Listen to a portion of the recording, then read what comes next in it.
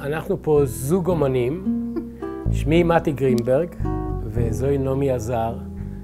אה, נפגשנו על אה, בסיס של אה, קונספט מאוד עתיק שנקרא אהבה. ומאז אנחנו אוהבים אחד את השני, וגם הצלחנו ליצור שני פרויקטים מדהימים ומקסימים.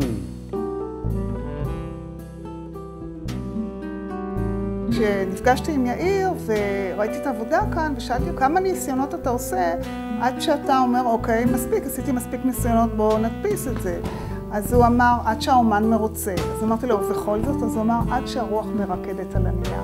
זה משפט נפלא אני חושב, יש לזה משהו אה, עם, עם, עם השראה בלתי רגילה, זאת אומרת להשראה פה יש כנפיים בסדנה הזאת.